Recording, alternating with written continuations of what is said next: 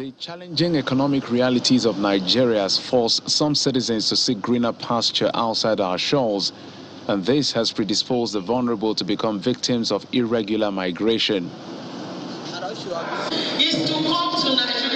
That's the reason for this peer-to-peer advocacy in schools and other places in Abeokuta, the Ogun State capital, by the Nigerian Immigration Service in collaboration with the International Organization for Migrants.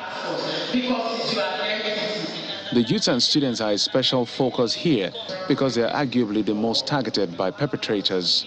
So as International Organization for Migration, we are here today to lend a voice with the Nigerian Immigration Service to say please sensitize your friends.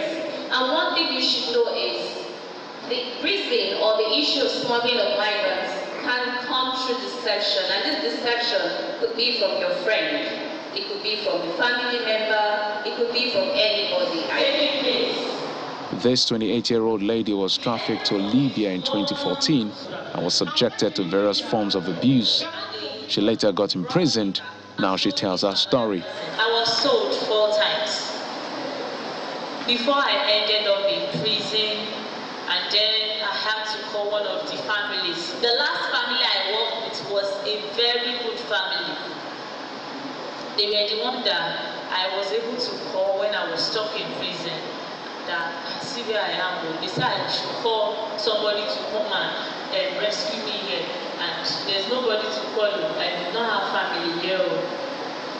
They in turn came for my rescue and they got me. By the time they got me, they were having discussions with their family and they were like, they should take me to embassy.